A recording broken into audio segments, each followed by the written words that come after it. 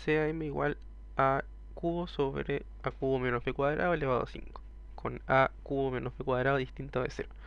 Se puede determinar que m es positivo sí. Como tenemos exponente impar, para que el valor sea positivo, lo de adentro debe ser positivo. Porque si va adentro negativo, el valor es negativo. Entonces lo que queremos es que esto sea positivo. Ahora, para que una fracción sea positiva tenemos dos posibilidades.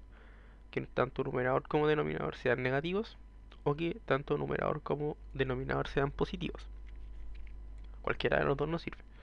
En la información 1 nos dicen que A es negativo. Si A es negativo, A al cubo también va a ser negativo. Y analicemos entonces el denominador. A al cubo ya dijimos que es negativo porque A es negativo. Ahora, B cuadrado, sea cual sea el valor de B, como está el cuadrado, va a ser un número positivo. A lo más puede ser 0, lo más chico que puede ser es 0, pero si B es positivo o negativo da lo mismo, B cuadrado va a ser siempre positivo. Entonces, ¿qué tenemos? Tenemos A cubo que es negativo, menos B cuadrado, que es un número positivo. Negativo menos un positivo el resultado se hace más negativo. Así que tenemos justamente negativo y negativo tanto arriba como abajo, por lo tanto la expresión es positiva. Información 2. A mayor a B mayor a 1. Ahora, si A es, bueno, primero, los dos son mayores que 1, lo que quiere decir que son positivos. Así que A al cubo es positivo.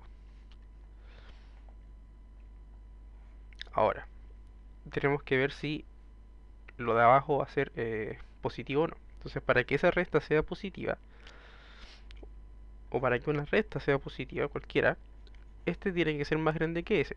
Y justamente como A es más grande que B, entonces eh, A cubo es mayor que B, eh, que B cuadrado. Por lo tanto, la diferencia va a ser positiva. ¿ya? Y eso se cumple justamente porque son mayores que 1 que si no fueran mayores que 1, entonces habría, habría algunos problemas con los números que están entre 0 y 1.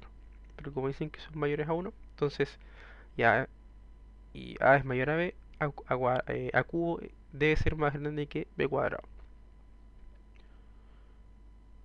Así que estamos con la situación positivo-positivo, así que el resultado completo es positivo.